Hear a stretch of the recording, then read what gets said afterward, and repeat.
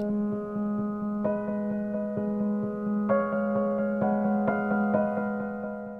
question we get frequently is, does the seller need a real estate attorney? And the reality is that when you're selling a piece of real estate, you're probably going to be getting a lot of money, and you want to make sure that you get that money. And so yes, you do have a realtor, and yes, the realtor is protecting you in terms of the real estate transaction. Of course, they want to make sure that it closes and that, and that they get their commission. But sometimes little things can pop up that can, that can make a deal go sideways that are legally related. And so it's pretty good to have a lawyer by your side, and it's kind of a little extra insurance that you're going to have to make sure that the, that the deal flies and that it, uh, it goes according to, to plan.